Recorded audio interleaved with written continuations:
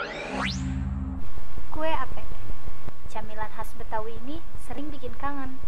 Rasanya yang renyah di bagian pinggir dan empuk manis di tengah, sungguh memanjakan lidah.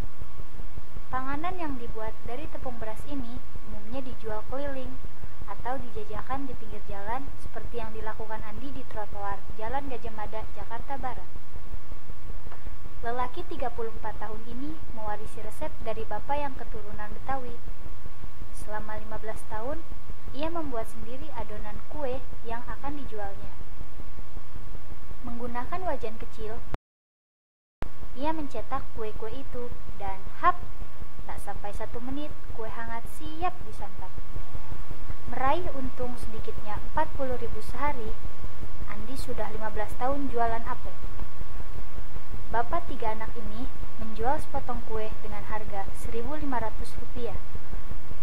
Namun, ia mengurangi harga saat sepi pembeli. ya kan misalnya melihat juga lihat-lihat orang lah gitu kalau misalkan oh bisa jual ini nih ya seribu lima ratus lah misalkan bisa kurang lah misalkan sepuluh ribu tujuh gitu